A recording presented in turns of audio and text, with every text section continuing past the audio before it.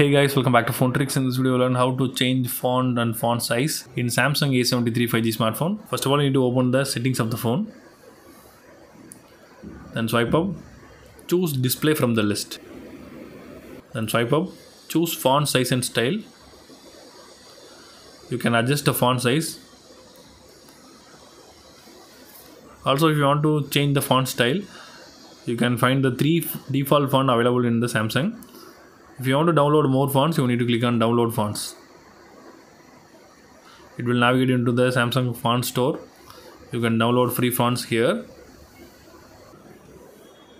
So now you can download the free fonts here. So you can click on top free and download these fonts. So after downloading, you need to come back to the same area again. Display, font size and font style choose font style. Now you can see the new font appear here. You need to click on that in order to change the font. So that's all guys